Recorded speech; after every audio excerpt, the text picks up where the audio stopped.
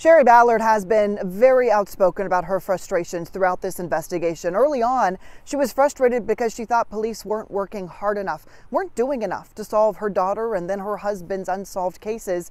More recently, her frustrations have been geared to how long it's taking them to solve them.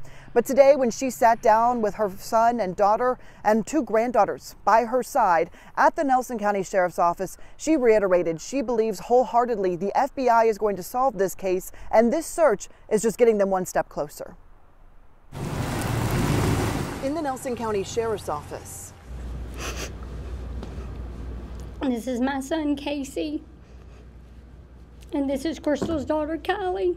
The Ballard family all together for the first time in years, answering questions about the latest search in Bardstown. This is such a big day for us. It's such a hard day. Gosh, it's very hard.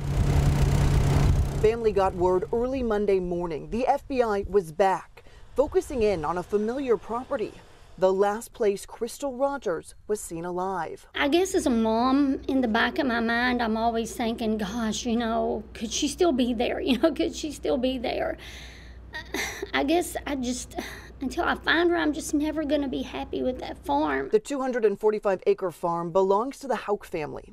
Crystal Rogers' former boyfriend, Brooks Houck, has been named the main suspect in her disappearance. My daughter was always at that farm. They would go over there and take her little boy and the other kids and they would roast marshmallows and hot dogs and stuff on that farm. On the farm, dozens of FBI agents, specialized equipment, and mobile command centers.